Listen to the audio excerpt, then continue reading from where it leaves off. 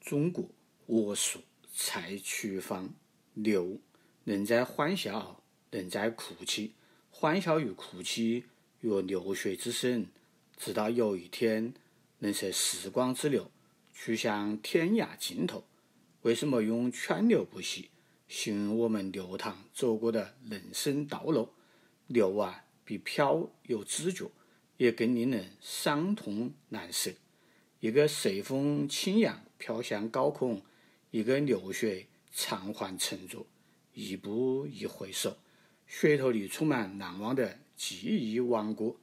你我在同一条忘泉上，不同的河段港口。即便你曾拥有繁花似锦的春天，流光溢彩的生活。落花与流水皆为无情之物，声乐飘蓬。也如流水，明亮时欢声笑语，哪肯作别放手？